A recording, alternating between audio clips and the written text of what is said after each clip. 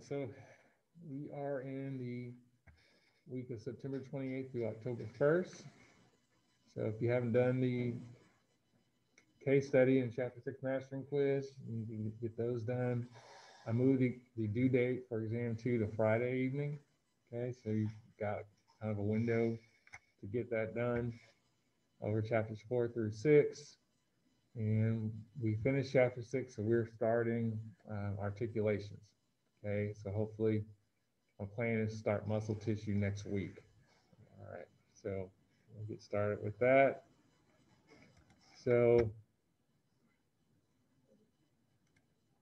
we are in the week eight learning activities module since we're a little ahead. All right, so you got the exam review for exam three. Okay, so you won't need that for this week, but just know that's where it is. All right, got full notes, lecture presentations, and I have the one that I created. Here's the one with the blanks, so hopefully you printed that out so you can fill it in on your own. You have a YouTube playlist. Okay, so you have those videos like uh, you know, Wendy Riggs and uh, of course uh, crash course, Bozeman Science, Professor Dave explains, links to the book. All right, uh, practice anatomy lab. So now that we're starting to get into models and things like that, you definitely want to be spending time in there looking at practice anatomy lab. Have an MP3 you can listen to on types of joints and their movements, link to the glossary and flashcards and a practice test. All right, so the uh, I haven't moved the dates on the dynamic study modules, so we'll, we'll, just keep those consistent for right now, but you can start working on them. Okay. So let's get into articulations.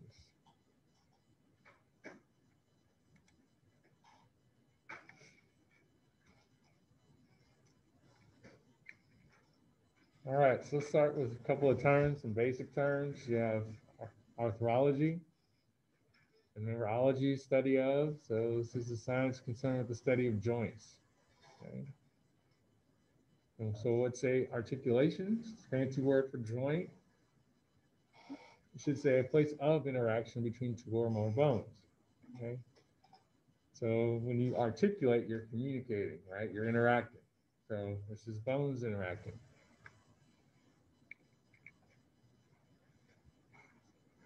So in your review for chapter six, there, I think there are a few statements in here, so you got to fill in the blank at the end of the sentence. So you might have to do this on the test. So the characteristic structure of a joint determines the type of movement that can occur. Okay. So structure of the joint determines the type of movement. Important principle. Okay, another important principle, how are joints classified? Two main ways, okay, a lot more detail that we'll get into today, but basically you can classify joints by structure or function.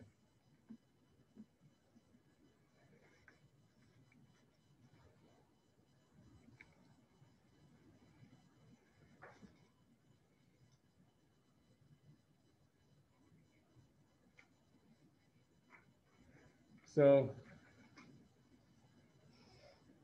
we're going to classify joints based on structure. It's basic anatomical organization of that joint. Important principle is that whether or not you have a joint cavity helps you determine the classification as well as the kind of supporting tissue you have around that joint.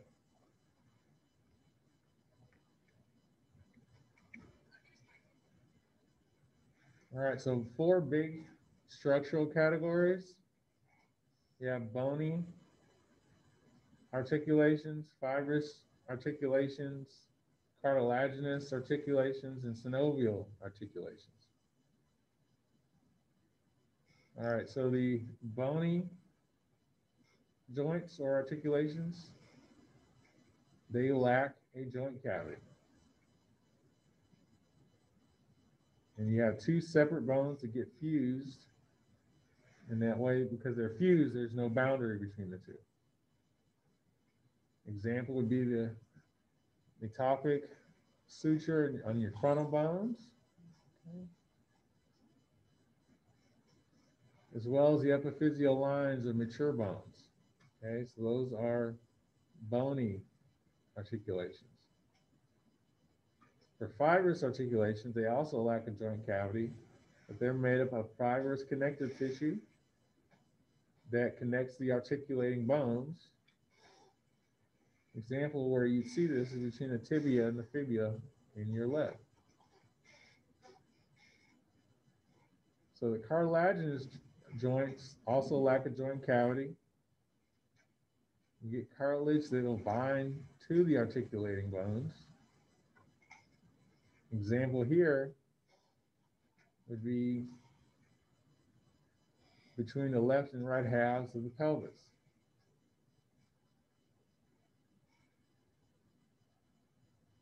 Also between the vertebrae, you'll see these. Now for the synovial joints, these are the only ones that do have a joint cavity. And you have ligaments there and they help support those articulating bones. Example is your knee. You've heard of ACL, MCL, anterior cruciate ligament, medial cruciate ligament. Okay, these are ligaments in the knee joint. So that's kind of an overview of structural classification. So before we move on to functional, why don't you discuss with your partner the two ways you can, big ways you can classify joints and also characteristics or different types of structural joints. You can do this at home as well. All right, so if we're going to classify articulations functionally, it's based on how much movement you get in that joint. And then you can subdivide the functional categories based on structure and range of motion. All right, so big categories in the functional classification method are synarthroses, amphiarthroses, and diarthroses. Okay. Then we'll get into more details on each of these. Then in the synarthroses, you have the sutures, you have a gomphosis, synchondrosis, and synostosis, or synostosis. In amphiarthroses, you have the syndesmosis and the symphysis. In the diarthroses, you have joints you're probably somewhat familiar with, like the gliding joints or planar joints, hinge joints, pivot joints, ellipsoid joints or condyloid joints, the saddle or Solaris joints, and ball and socket joints.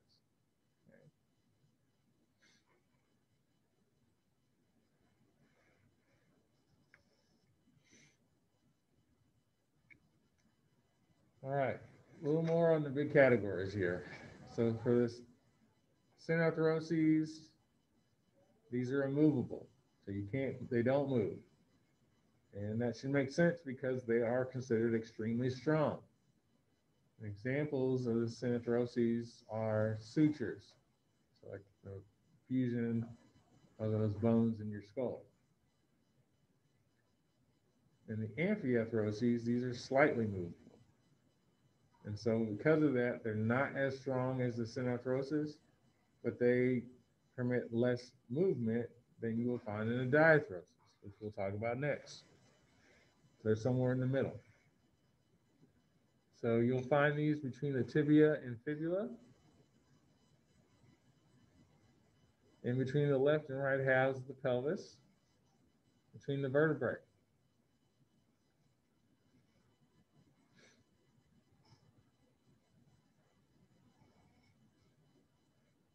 Now for the diarthroses,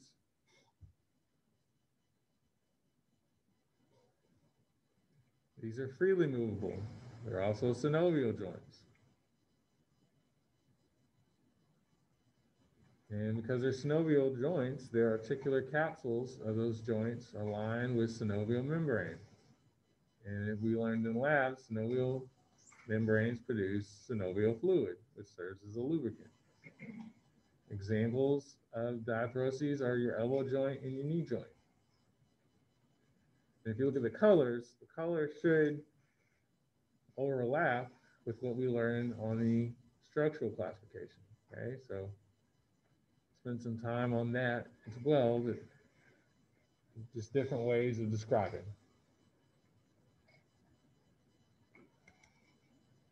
Okay, so there's four types of synarthroses. You have the sutures, the gomphosis, the synchondrosis, and the synostosis. The sutures are immovable, again, between the bones of the skull. They're bound together by dense connective tissue.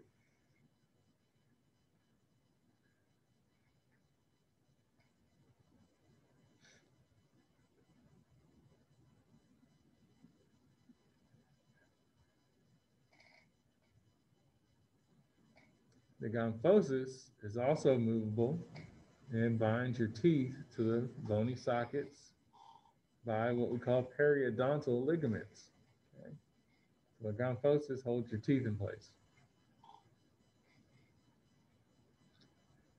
So the synchondrosis is a rigid cartilaginous bridge. It's between uh, two bones. Example would be your epiphyseal plate, as well as the cartilaginous connections between your vertebral sternal ribs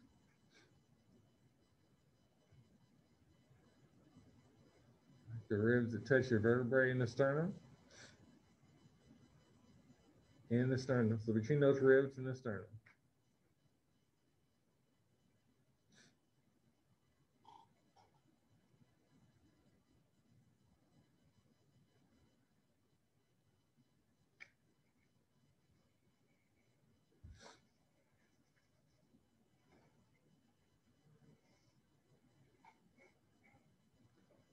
Synatosis, these are two bones that are completely fused. Like your metopic suture in your frontal bone and your epiphyseal line in your mature bones. So the epiphyseal plates, synchondrosis, the epiphyseal lines, the synostosis.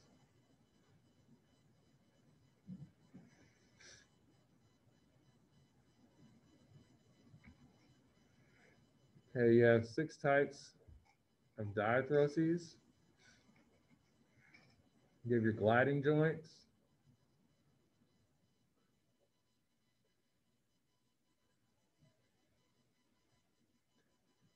And they permit some movement, not very much. It's generally in single plane, like side to side or back and forth.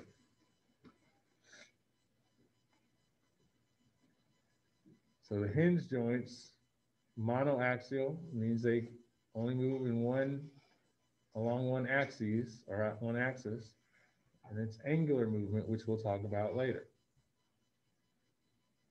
Examples would be the elbow and the knee joints. So think about your elbow, you know, moves kind of like the hinge on a door.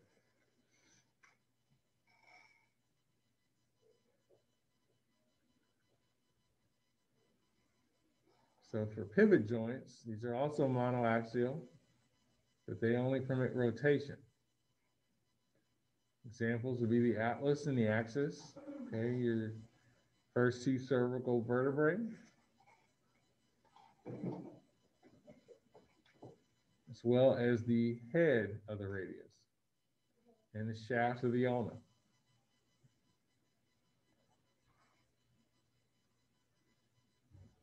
You have your ellipsoid or condyloid joints, and these are biaxial. They have an articular face that's shaped like an oval, and it nestles within a depression or hole space in the opposing surface. So examples would be your phalanges with your metacarpals, okay, in the base of your hand, and your phalanges with your metatarsals, the bones in the base of your foot.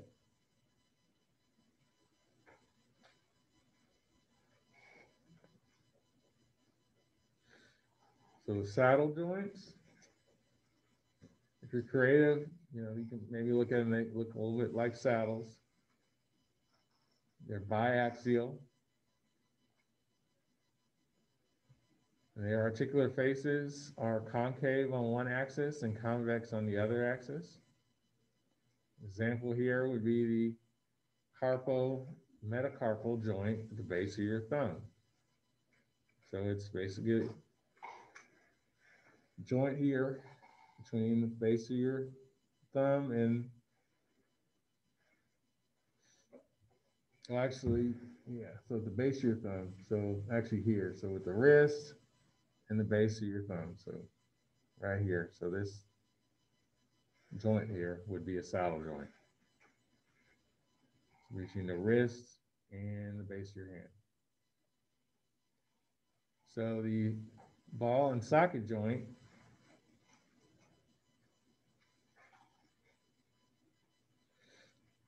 is formed based on having a round head on one bone and it rests inside a cup-shaped depression on the other bone. It's triaxial, means it can move in three planes. It permit rotation and other movements. Example would be your shoulder joint your hip joint.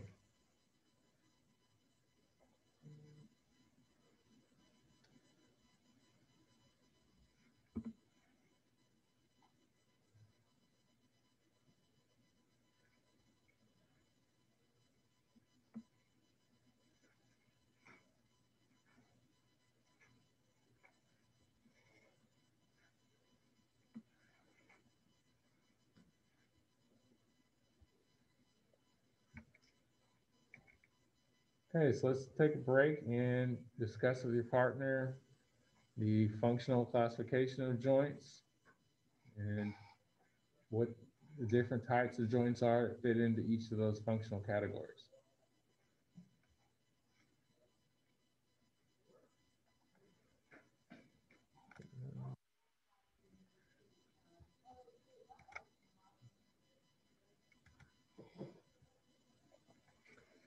Okay, so the articular cartilage. This is a cartilage pad and it covers the surface of your bones inside the joint cavity.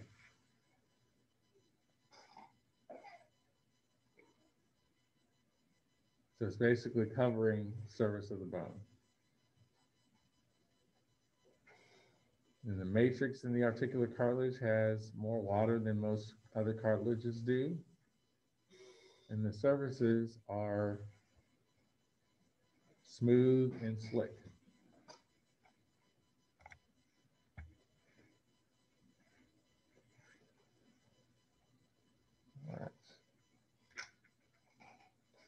So medical conditions that are related to articulations, you have rheumatism, which is inflammation. Okay, so you're getting redness, swelling, around these fibrous connective tissue that surrounds the joints. You get pain and stiffness, affects both your skeletal system and could also affect your muscular system. Lots of different kinds of rheumatism. You also have arthritis. Again, another form of inflammation. And these rheumatic diseases typically are going to affect synovial joints. And then this, when it's arthritis, you're going to get damage to the articular cartilage. And there's over 50 different kinds of, of arthritis. And again, anytime you see medical conditions, these make good matching questions. Okay. Osteoarthritis. It's non-inflammatory. Okay, so it's different from the others. Okay, and it's characterized by deteriorating the articulated artic, articular cartilage and making new bone at the joint surfaces. So it's, it's basically moving the cartilage away and putting bone there. And that's really bad because cartilage helps to keep the bones from hitting each other. Okay, so if you have bone hitting bone, It's going to be painful. Rheumatoid arthritis, in this case, your synovial membrane is going to get thicker, and becomes tender. You get accumulation of synovial fluid.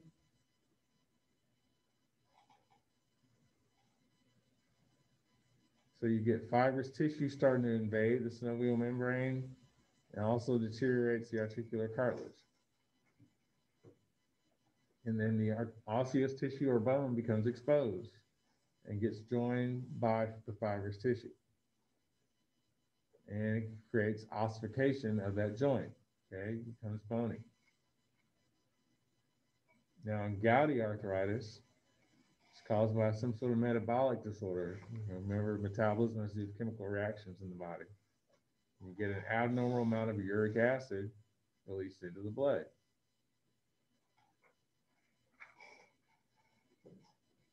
And these sodium urate crystals start accumulating inside your joints. And these salt crystals are very irritating to the articular cartilage, as well as the synovial membrane, and causes swelling. Causes the tissues to deteriorate, causes pain.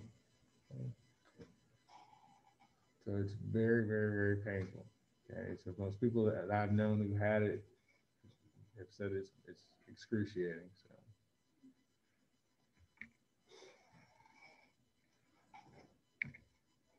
Okay, another important point. Just want you to know that synovial fluid is thick and viscous. Okay, it's not it's not watery. Okay, it's viscous. It's very thick.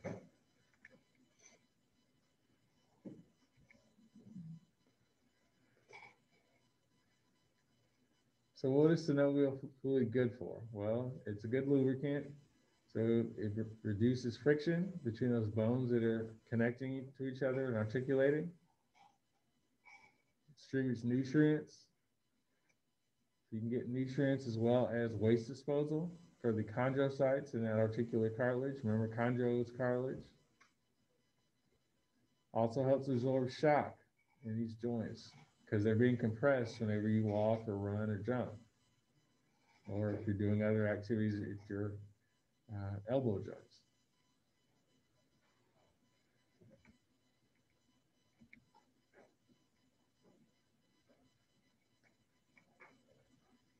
All right, let's talk a little bit about accessory structures. So you might have heard of the lateral and medial meniscus, okay? Uh, plural is menisci.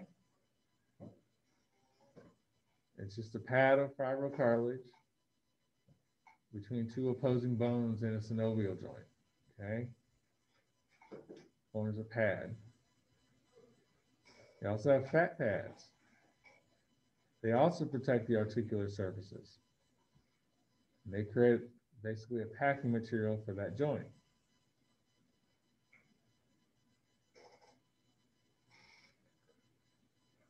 Also have other ligaments. You have accessory, extracapsular, intracapsular, capsular, some extras outside the capsule, intras inside the joint capsule. And obviously they provide support.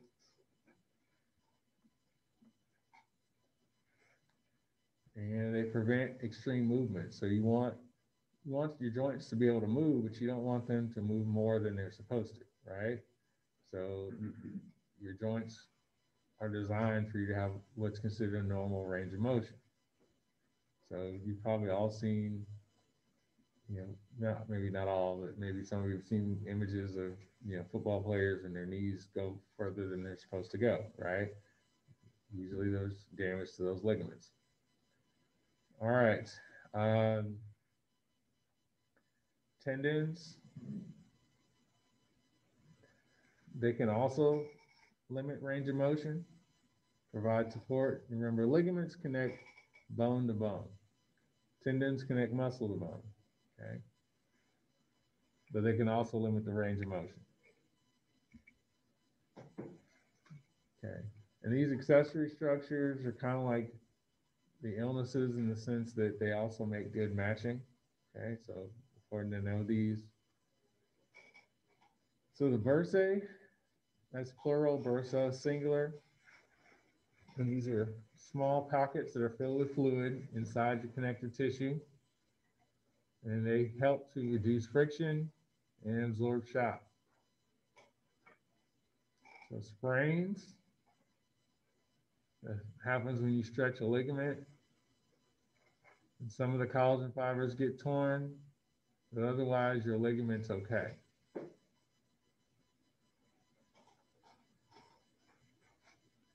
Now, bursitis, anytime you see itis, there's inflammation. It's inflammation of the bursa, causes pain. Can caused by different things, pressure, repetitive motion, could be uh, irritation by different chemicals, could be infection or trauma, I should say or. Example bursitis tennis elbow or golfer's shoulder.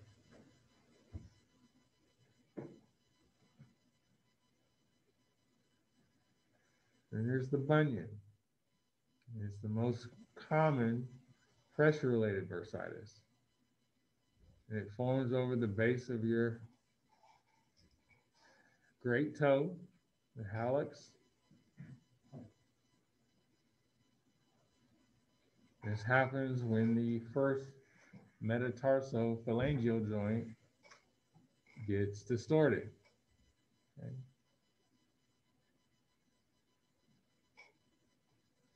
Obviously, your toes, your great toe is really important for walking and running. So, having a bunion there would be painful.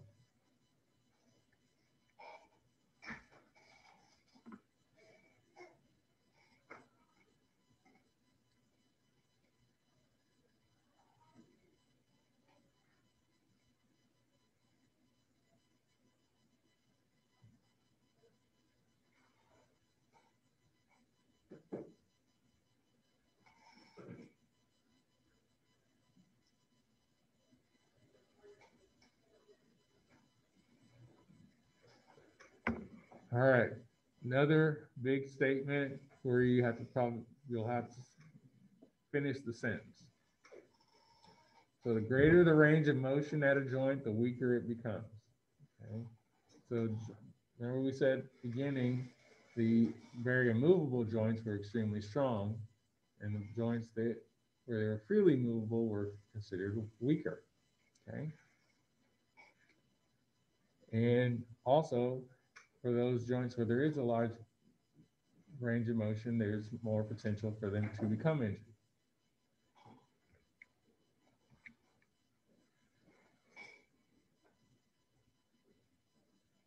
All right, another short answer potential type question, factors that are responsible for limiting range of motion, stabilizing your joints and reducing chance of injury, okay?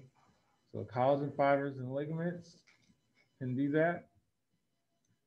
The shapes of the articulating surfaces can help. Other bones, skeletal muscles, or fat pads, as well as tension. Okay, all these things can limit range of motion, they can stabilize joints, and they can reduce chances of injury.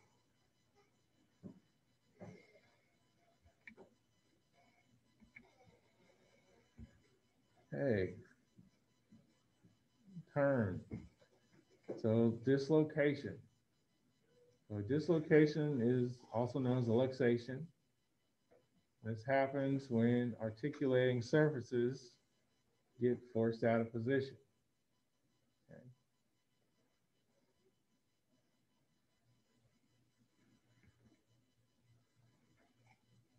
So it should make sense. So if anybody's ever dis dislocated a joint you know, dislocate a finger, shoulder, anything like that, those articulating surfaces get forced out of position.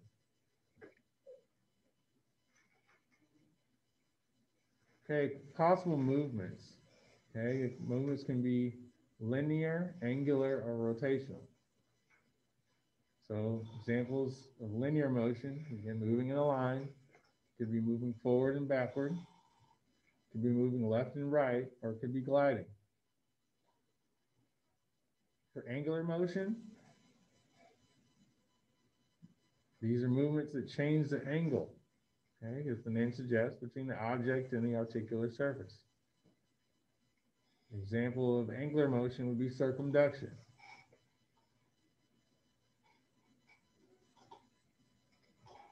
Rotational motion, you're spinning the object around the longitudinal axis.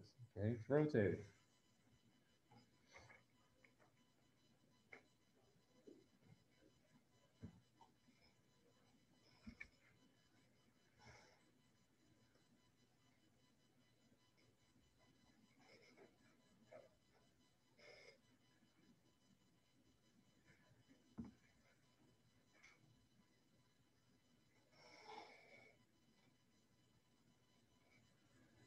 All right, so axes of joints, they can be monoaxial, biaxial, or triaxial.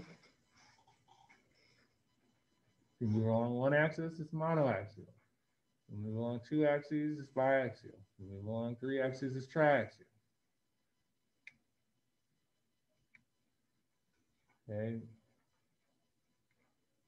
You have gliding joints, surfaces move past each other. Okay, that's gliding, right? Okay, so before we get into the specific angular motion, let's take a break. Talk about the three different kinds of motion. Okay, so let's talk about that and talk about the different axes of joints. And you can do that at home if you're watching at home. So under angular motion, you have flexion, extension, hyperextension.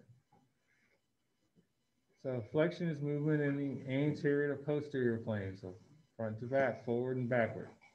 And it reduces the angle between the articulating elements. So with my elbow joint, if I flex my bicep, again, that's flexion because I'm reducing the angle, right? It's reducing the angle. Okay, if I move my arm up this way or like this, all right, I am reducing the angle between my hand and my face. Okay, went from 180 to 90. Flexion. Okay, my hip joint. I kick my leg up. Okay, I'm reducing the angle between my foot and my face. Flexion of the hip joint. Now, if I take my foot bring it up. I know everybody can't see me, but I bring my foot up like that, reducing the angle between the back of my foot and the back of my head. So that's also flexion. For extension, also moving in the interior exterior plane or posterior plane. So it's increasing the angle between the articulating elements. So then if I take my elbow joint and move my arm or hand down, then I am extending my my elbow joint. Okay, if I have my leg up and then I move it back down, I'm extending my hip joint. Okay, my arm is up, move it down. I'm extending the shoulder joint. Now, for some joints, if you move past anatomical position, that is hyperextension. So with my arms, just coming back to anatomical position, it's extension. If I move my arm back even further, it's hyperextension. You know, move, if my leg is out and I move it back to anatomical position, that's extension. So if I move it back behind my body, it's hyperextension. And with my neck, if I move my neck forward, it's flexion, with back change anatomical position is extension. Moving my head back It's hyperextension. So anytime you like go back with anything is hyperextension. If you go past the anatomical position.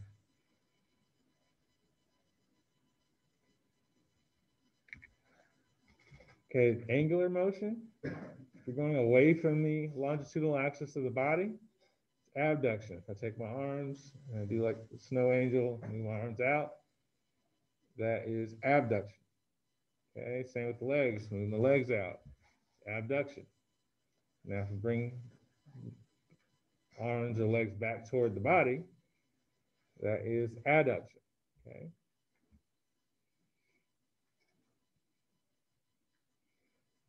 And if you move your arms in a loop, circumduction. Okay, circle. All right, well, you may have seen in gyms, hip abductor or adductor machines. That's what they're doing, working those muscles.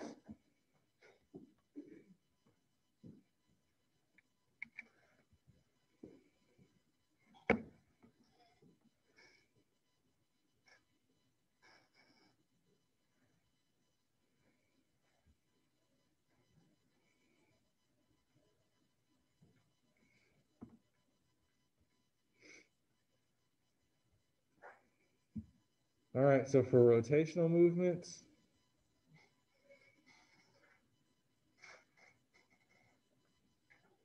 okay, if I move my head to the left or to the right, it's rotation.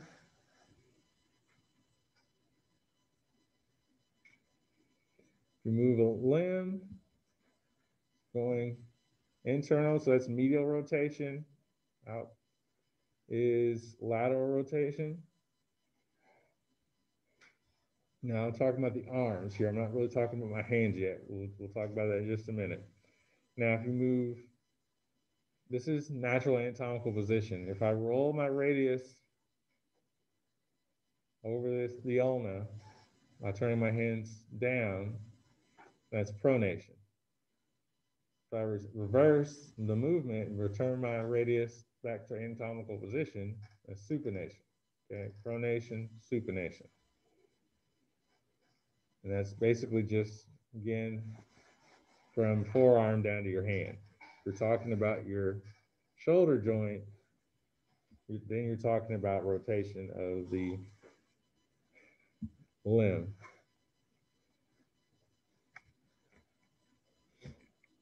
Okay, special movements. You turn your foot inward. It's kind of hard to see, but if I turn my foot in inversion, but turn it out eversion. Okay. Turn your foot inward, twist it inwards, inversion, outward, eversion. All right, with your ankle, you dig in your heel so your toes are facing up. It's dorsiflexion. So dig in your heel, dorsiflexion. D for dorsiflexion, D for digging your heel. Okay, it's the opposite. You stand on your tiptoes, extend your ankle joint, elevate the sole of your foot. That's plantar flexion. Plantar flexion. If you stand on your tiptoes. Okay, if you move part of your body anteriorly in the horizontal plane, you're protracting. Move your body posteriorly in the posterior plane. You're retracting. Okay, example of that is your jaw. You try to stick your jaw out. I don't know if you can see that with my mask, but stick your mandible out, protracting. If you stick it back in toward your, your face, you're retracting.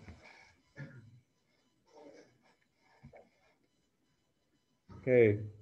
If you move a structure in the inferior direction toward the bottom of your body, depression. If you move the structure toward the superior direction, that's elevation. So again, with the mandible, if I move my mandible down, I've depressed it. And if I move my mandible back up, I have elevated it.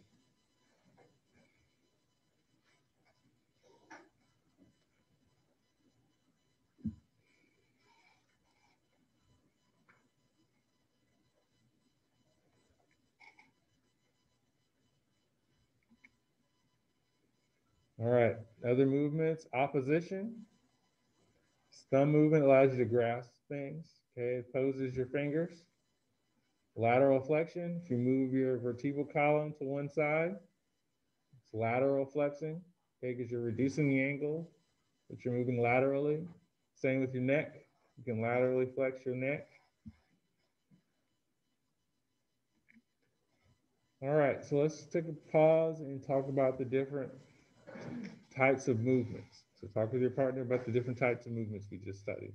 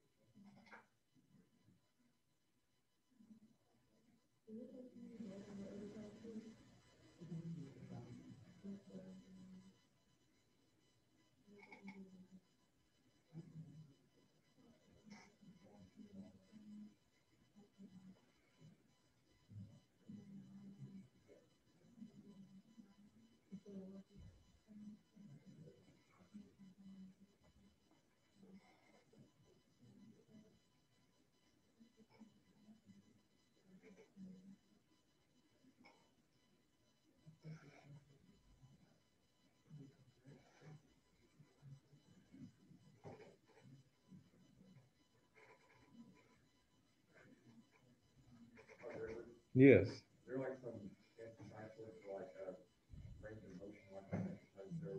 well. You know, It's just a fancy word for range of motion. Yeah.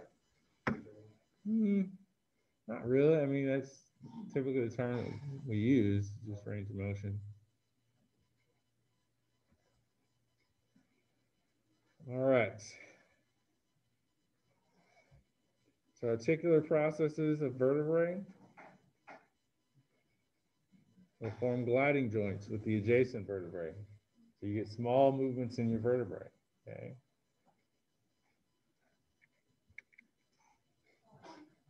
Okay, these bodies are going to form what we call symphysial joints.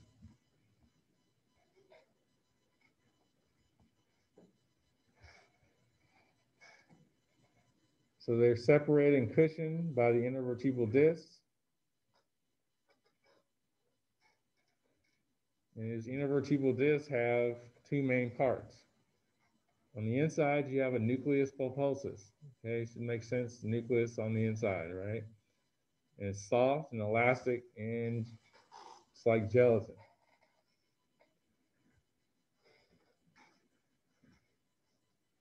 On the outside, you have an annulus fibrosus, and as the name suggests, it's, it's tougher, it's fibrous.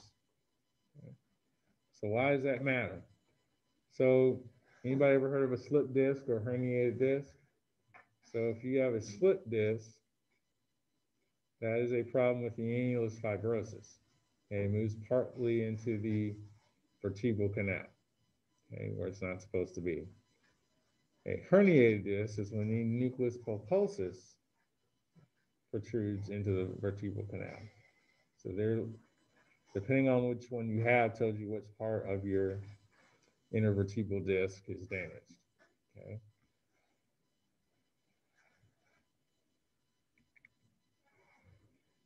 So how does the vertebral column get stabilized? Well, through the actions of several ligaments.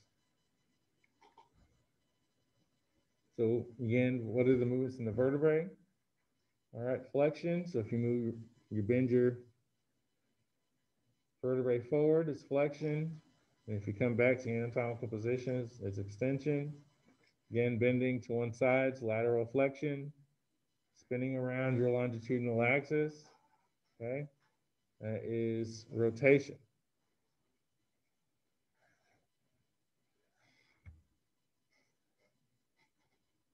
So if you're able to twist at your waist, that's more of rotational movement.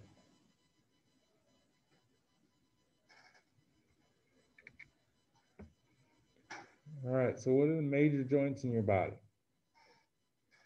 Okay, you got the shoulder joint, your elbow joint, your hip joint, your knee joint. Okay, these are major joints in your body. They're all synovial.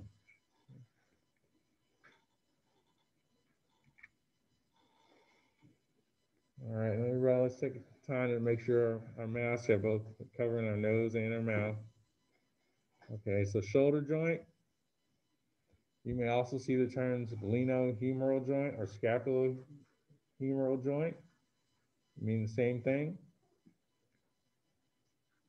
It's formed from the glenoid cavity of the scapula and the head of the humerus. Okay, it's a ball and socket joint. Glenoid cavity is your socket. Head of your humerus is the ball. Shoulder joint has the greatest range of motion of any joint in your body. Okay. Hip joints have a fair amount of motion, but your shoulder joint actually has more. Again, it's a ball and socket joint. It's a diarthrosis. Okay, it has some stabilizing ligaments to it. Okay. And it's not the strongest and most stable joint, but you get lots of mobility out of it.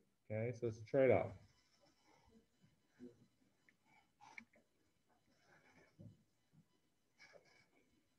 Okay, so shoulder joint problems. Again, these are good things to. All right, so we should be able to get out of this in 10 minutes. Should be good. All right, so shoulder separation.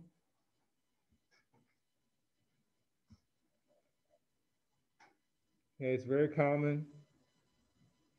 You get either partial or complete disloca dislocation in the acromioclavicular joint. So it basically has to do with the what we'll learn about in lab, the acromion of the uh, scapula in the, in the clavicle. Also, another injury is the rotator cuff. Okay. So you may have heard a lot of like pitchers, quarterbacks may have rotator cuff injuries, sometimes golfers. Um, various muscles that supports your shoulder joint sometimes get damaged and it limits the range of motion.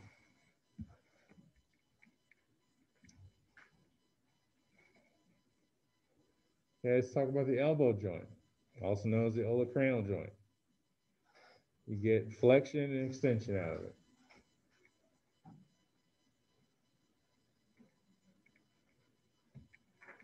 And it's a hinge diarthrosis. Okay, it's a hinge joint.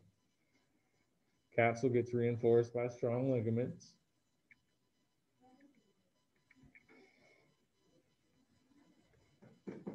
Hip joint, it's a ball and socket diarthrosis like the shoulder joint. And it's formed by union of the acetabulum, which forms the socket with the head of the femur, which is the ball.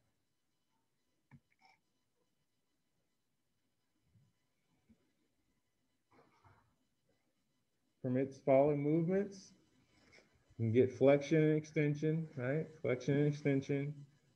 Okay, abduction and adduction. Get some circumduction, some rotation.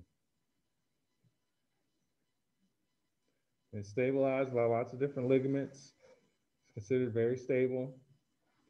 It needs to be in order to pass weight from your body down to your femur, right?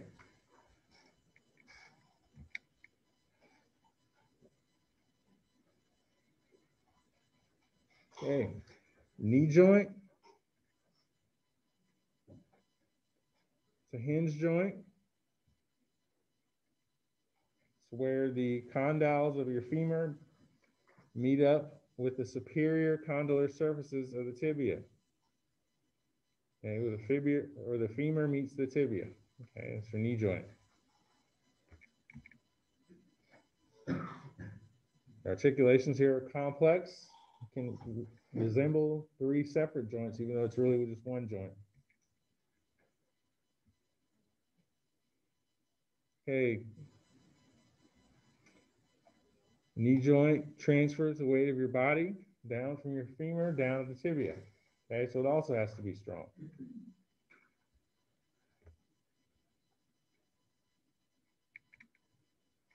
Movements you get out of the knee joint,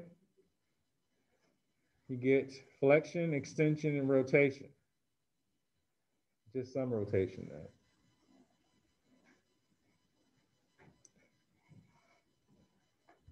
But obviously you can, at your knee joint, you can flex it, extend it. Okay, you have a little bit of rotation, not much. Obviously, at your knee joint, you have lots of ligaments, like your anterior cruciate ligament, medial cruciate ligament. So what are some different knee injuries? So a tear of the medial meniscus is a most common form. As you might guess, very painful. Obviously, it's going to restrict movement, okay, at that joint.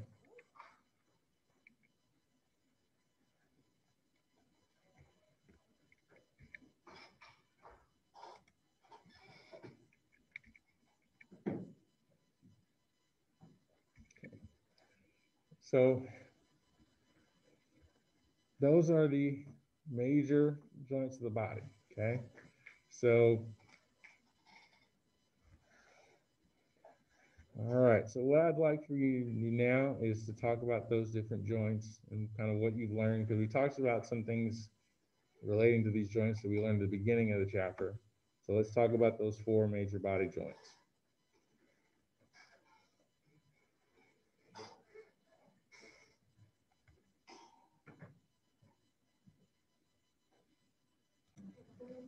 Okay, so now at this point, I'm gonna let you go ahead and work on your exit tickets.